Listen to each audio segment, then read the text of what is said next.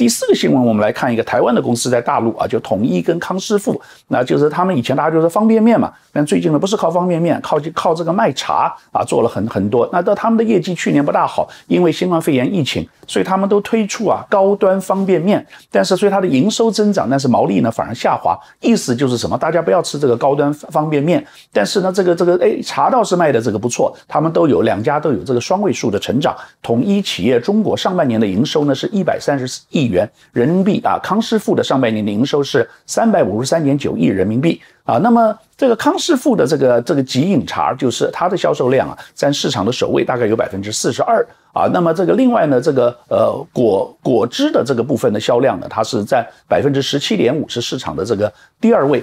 那这里面有什么观察？就中国的消费市场其实是非常的大，不断的在成长。